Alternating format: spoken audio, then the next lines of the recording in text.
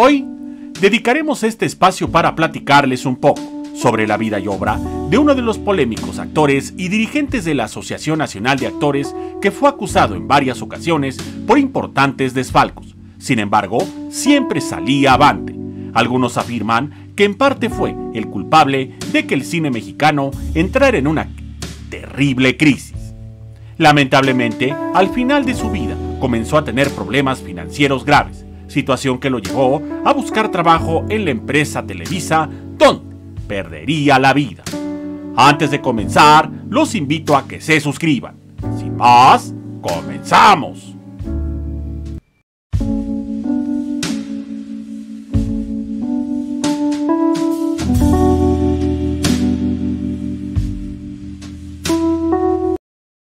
Su nombre completo es Nicolás Jaime Fernández Reyes mejor conocido como Jaime Fernández. Nace un 6 de diciembre de 1927 en Monterrey, Nuevo León, México.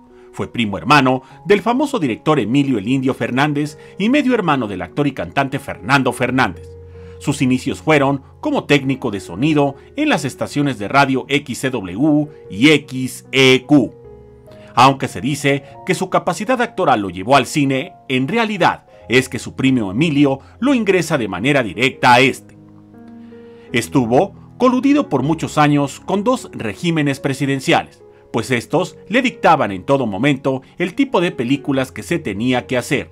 Aunado a ello, muchos actores y actrices se quejaron amargamente de su actitud prepotente, ya que en muchas ocasiones canceló pagos y beneficios para el gremio. Fue tan grave el asunto que un grupo de reaccionarios actores decidió formar un gremio sindical llamado Sindicato de Actores Independientes. Sus actos de descaro y despilfarro llevó a que el gremio actoral lo señalara junto con Rodolfo Landa como los dos personajes más nefastos de la historia. Se dice, aunque no se pudo comprobar, que su primo tuvo algunos problemas con productores que no querían que la industria le impusieran a este actor. Sin embargo, don Jaime siempre se mantuvo vigente pues filmó más de 80 películas, entre las que destacan El Rebozo de Soledad, 1952, y El Bruto, 1953. En la década de los 70, Jaime deja el polémico cargo y regresaría de manera directa a la actuación. Sin embargo, comenzó a tener problemas legales precisamente por su gestión, situación que de poco en poco lo fueron dejando sin dinero. Aunado a ello, la industria cinematográfica le voltea la espalda definitivamente, pues había dejado estragos irreparables. También se dice que se involucró sentimentalmente con una bella y joven bailarina de la época que trabajaba en el famoso Teatro Blanquita, la cual le quitaría también una parte importante de su cuantiosa fortuna. Ya en el año 2004 se declara a este gran actor en bancarrota. Sin embargo, vivía de sus pocas regalías producto de su trabajo.